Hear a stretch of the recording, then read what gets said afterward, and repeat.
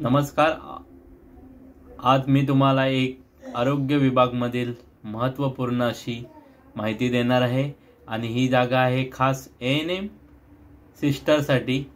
आणि N M sister असतील त्यांनी ही नक्की व्हिडिओ पहा आणि यामध्ये डिटेलमध्ये मी तुम्हाला याची माहिती देणार आहे. पहिल्यांदा आपण साईडवर जाणार आहोत. ज्यांना गव्हर्नमेंट जॉबची एन एम जॉबसाठी खरंच गरज आहे. त्यांनी हा नक्की व्हिडिओ पहा आणि मी आता तुम्हाला साईट दाखवणार आहे.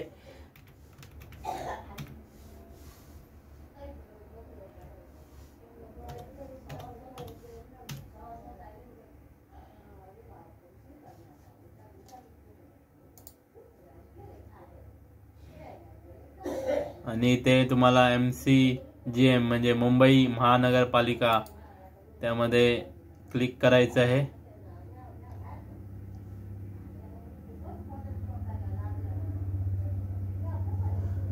आणि ही साईड आता ओपन झालेली आहे. तुम्ही पाहू शकता. इथे आता आपल्याला उज्ज्वल संधी करिता. मित्रांनो आता आता आपण इथे उज्ज्वल संधी करिता. इथे क्लिक करायचं आहे आणि कर्सर इथे घेऊन सर्व नोकरीच्या संधी इथे आपण बघायचं आहे आणि पहिलाच आपण आता इथे पब्लिक डिपार्टमेंट शोधायचं आहे पब्लिक हेल्थ डिपार्टमेंट तर पहिलेच तुम्ही आणि इथे तुम्ही पाहू शकता. इथे तुम्ही पाहू शकता तीस नंबरचे ॲडव्हर्टाइजमेंट आहे. Advertisement of recruitment of P H D portal advertisement of A N F तर आता मी साईड ओपन केलेली आहे इथे. म्हणजे हा पी डी एफ ओपन केलेला आहे. तुम्ही इथे पाहू शकता. हे आहे बी एम सी मुंबई महानगरपालिका यांच्यासाठी जाहिरातीचा नमुना आहे. तर यामध्ये त्यांनी सांगितलेलं आहे की सार्वजनिक आरोग्य खात्याअंतर्गत उप कार्यकारी आरोग्य अधिकारी विभागाच्या सहाय्यकारी परिचारिका प्रसाविका म्हणजेच एन एम च्या जागा भरायच्या आहेत आणि या सर्व जागा ह्या परमनंट जागा निघणार आहेत. तर अर्ज स्वीकारण्याचे ठिकाण कुठे आहे ते तुम्हाला सांगितलेलं आहे. मुंबई पब्लिक स्कूल जगन्नाथ भातनकर मार्ग शिरोडकर मंडईजवळ. परळ परळ मुंबई येथे हे अर्ज स्वीकारणार आहेत आणि अर्ज करायची तारीख पाहू शकता तुम्ही. सोळा एक दोन हजार तेवीसपासून पंचवीस एक दोन हजार तेवीस. शनिवार रविवार सार्वजनिक सुट्ट्या वगळून. त्यामुळे खूपच कमी दिवस राहिलेले आहे यामध्ये. आणि सकाळी अकरा ते पाच या वेळेतच अर्ज सादर करायचा आहे. तर एन एमच्या चारशे एकवीस जागा इथे आहेत आणि वेतन स्तर तुम्ही पाहू शकता आणि पंचवीस हजार पाचशे ते एक्याऐंशी हजार शंभर हे वेतन तुम्हाला मिळणार आहे. गव्हर्नमेंट जॉब आहे.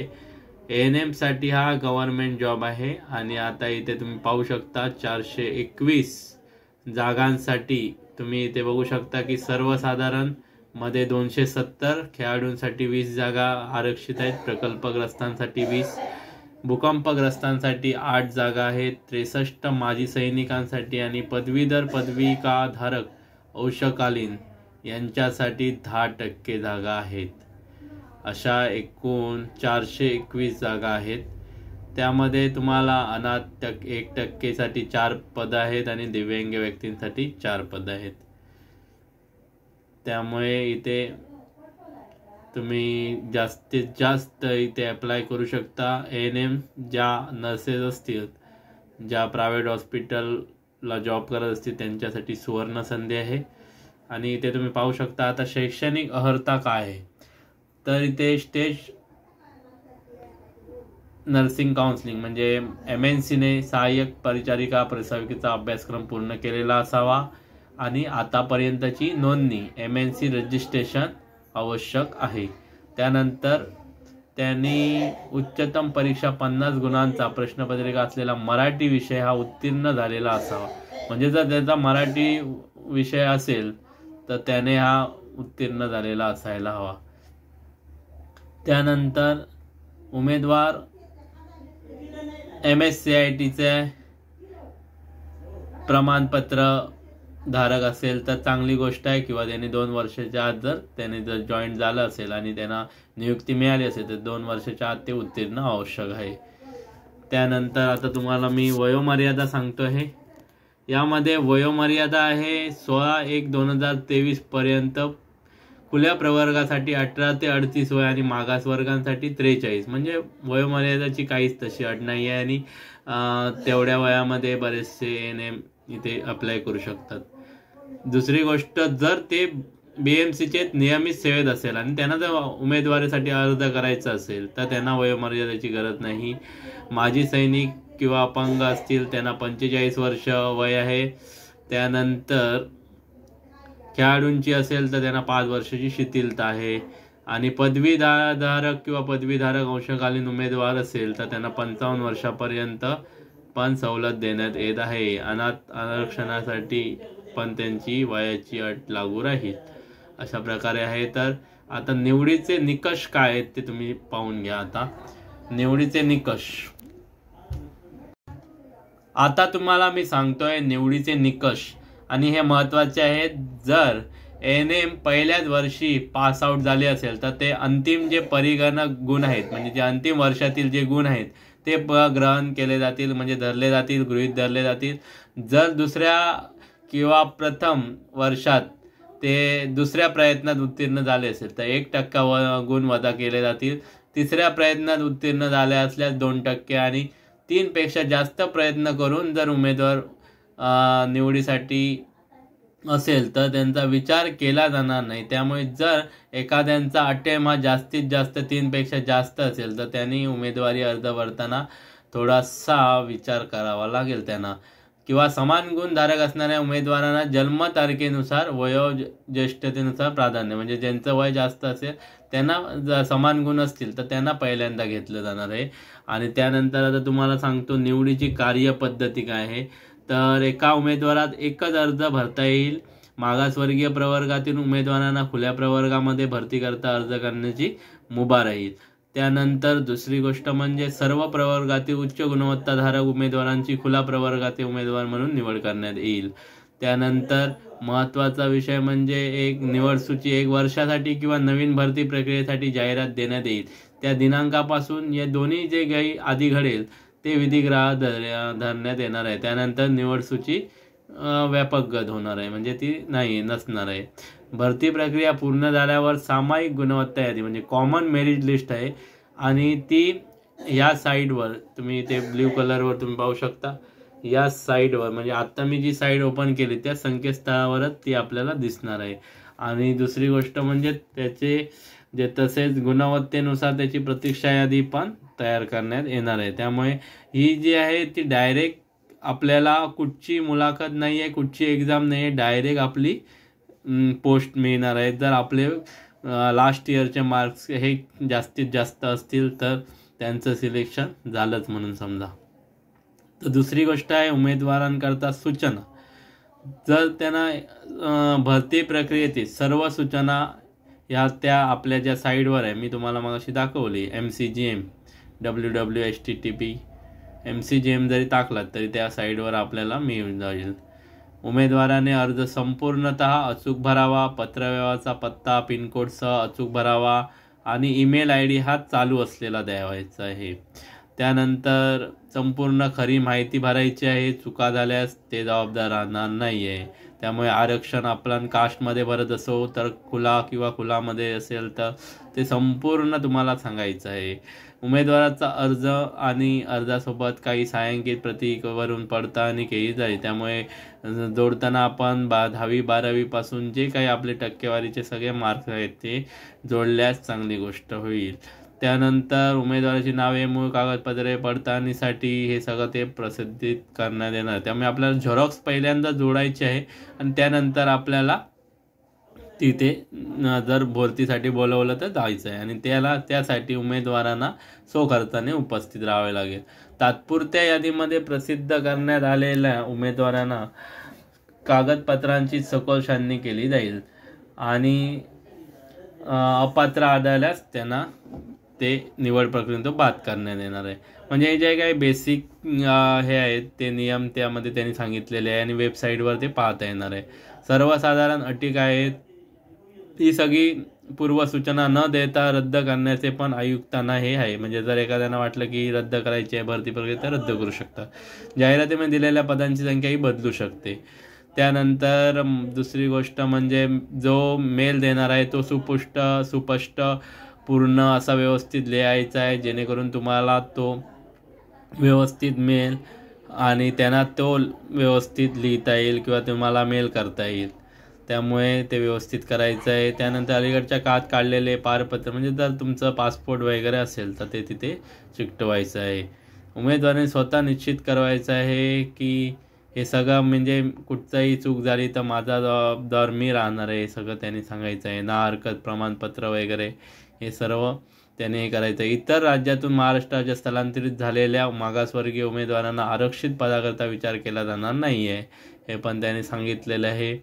त्यानंतर तुम्हाला अर्जासाठी मूळ प्रतीसाठी काय काय जोडायचं आहे तर शाळा सोडल्याचा दाखला जन्म दाखला अधिवास प्रमाणपत्र गुणपत्रिका प्रमाणपत्र पन्नास शंभर गुणांची मराठी परीक्षा उत्तीर्ण असल्याचे प्रमाणपत्र एन एम डिप्लोमा उत्तीर्ण केल्याचे प्रमाणपत्र M S C I T प्रमाणपत्र जात प्रमाणपत्र जात वैद्यते म्हणजे कास्ट व्हॅलिडिटीचे प्रमाणपत्र उत्पन्न गटात मोडत असेल उत्पन्नाचं प्रमाणपत्र या सगळ्या सायांकित प्रती तुम्हाला जोडायच्या आहेत. विवाहित महिला असतील तर त्यांनी नोंदणी विवाह नोंदणीचं प्रमाणपत्र नावात बदल झालेल्याचं आणि नोकरी करत असेल पूर्वीच्या नियुक्तीचं ना हरकत पत्र म्हणजे जर गव्हर्नमेंटला किंवा कुठे हे करत असेल तर तर त्यांच्यासाठी आहे ते. आणि दुसरी गोष्ट म्हणजे फोटो असलेले ओळखपत्र आधार कार्ड पॅन कार्ड.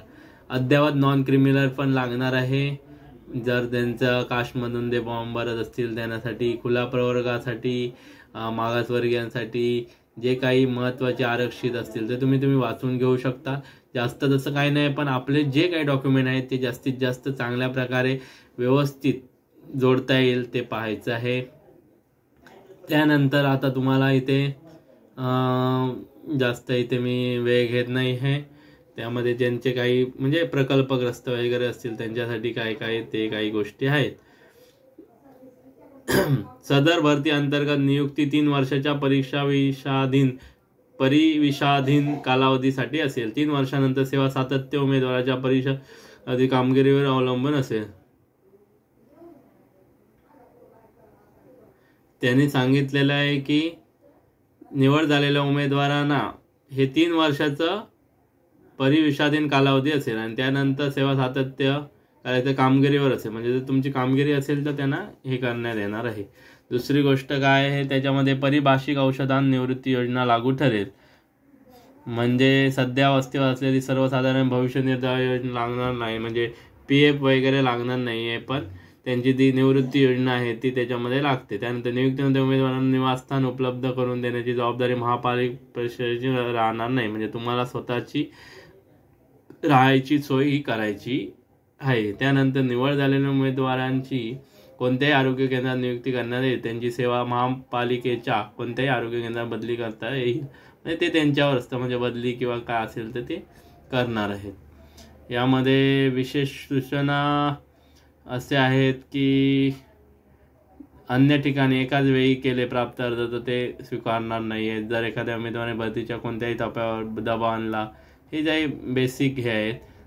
आता तुम्हाला इथे कागदपत्रांचा इथे त्याने पूर्णपणे क्रमच दिलेला आहे आणि मला वाटतं इथे एकवीस हे दिलेले आहेत. ते एकवीस आपल्याला हे करायचं आहे आणि आता तुम्हाला फॉर्म भरायचं मी सांगतो त्यामध्ये. त्या जो फॉर्म आहे हा आपण प्रिंट काढून इथे त्यामध्ये भरायचा आहे आणि तो नंतर ऑफलाईन आपल्याला सबमिट करायचा आहे. तर यामध्ये त्याने दिलेलं आहे तपशीलमध्ये मराठीत नाव लिहायचं आडनाव नाव वडिलांचे किंवा पतीचे नाव आहे त्यानंतर आईचे वडिलांचे पतीचे संपूर्ण नाव वैवाहिक स्थिती नावात बदल असल्यास ते लिहायचं आहे. Aadhaar card number PAN card number लिंग जन्मदिनांक उमेदवार नगर महानगरपालिका नियमित कर्मचारी असेल तर असल्यास कर्मचारी संकेतांक क्रमांक आहे. सध्याच्या वास्तव्याचा संपूर्ण पत्ता आहे. कायम वास्तव्याचा पत्ता आहे. स्थानिक पोलीस स्थानकाचा संपूर्ण पत्ता पाहिजे त्यांना. त्यामुळे स्थानिक पोलीस स्टेशन जर आपल्या जवळचं असेल त्याचा पण नंबर तुम्ही संपूर्ण पत्ता नक्कीच हे करा. त्यानंतर ईमेल आय डी जो चालू असेल तो द्या. जेणेकरून तुम्हाला मेल आला तर तो समजेल. आणि दुसरी गोष्ट म्हणजे मोबाईल क्रमांक आहे इथे. आणि मोबाईल क्रमांक पण चालू आहेचा द्या. त्यानंतर तुम्हाला एस एस सीमध्ये किती मराठी विषयात एकूण प्राप्त गुण किती? एच एस सीमध्ये किती हे लिहायचं आहे? त्यानंतर एन एमच्या पहिल्या वर्षी तुम्हाला मार्क किती मिळाले?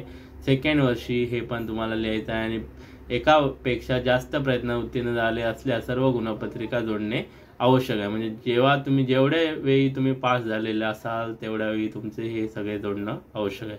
त्यानंतर एम एन सी रजिस्ट्रेशनचा नोंदणी क्रमांक वैद्यता दिनांक एम एस सी आय टीचा त्यानंतर स्वतःचा जात प्रवर्ग सामाजिक आरक्षण फायदा घेत असाल तर तू कुठच्या जातीमध्ये? त्यानंतर समांतर फायदा म्हणजे तुम्हाला खेळाडू प्रकल्पग्रस्त ग्रस्त असे जे काही असेल ते तुम्ही भरू शकतात. सेवा योजन कार्यालयाचे नोंदणीपत्र म्हणजे ते ते ज्यामध्ये आहे ते मध्ये आपल्याला काही करायचं नाही आहे त्यानंतर उमेदवारास यापूर्वी कोणत्याही गुन्ह्याकरता शिक्षा झाली होती का हे पण महत्त्वाचं आहे कारण ते खूप चेक केलं जातं. त्यामुळे पोलीस चौकशी किंवा काय असेल तर आणि सध्या आज अर्जदार इतरत्र नोकरीस आहे का असल्यास त्याबाबत तपशील देऊन पूर्वीच्या नियुक्त्याचं ना हरकत प्रमुख ते काही प्रायव्हेट जे जॉब करत असतील त्यांनाही काही गरज नाही आहे त्यांनी नाही जरी असं सांगितलं तरी चालू शकतं. कारण तिथे जर तसं हो बोलले तर आपण तिथे ते ना हरकत प्रमाणपत्र जोडण्यास भाग पडणार आहे. त्यामुळे प्रायव्हेट जॉबचं काही नाही पण जे गव्हर्नमेंट जॉबला असतील आणि त्यांना आता दुसरीकडे यायची असेल त्यांच्यासाठी ही मात्र होय करावंच लागेल. दुसरी गोष्ट म्हणजे हे सोबत जोडलेल्या प्रमाणपत्रांचा तपशील इथे लिहायचा आणि अशा प्रकारे व्यवस्थितपणे हा फॉर्म कंप्लीट झालेला आहे. जास्त इथे काहीच करायचं नाही आहे. महत्त्वाची गोष्ट म्हणजे हा तुम्हाला पहिल्यांदाच मी सांगितलेले आहे इथे की अर्ज सादर करायचं स्वीकारण्याचं ठिकाण इथे आहे.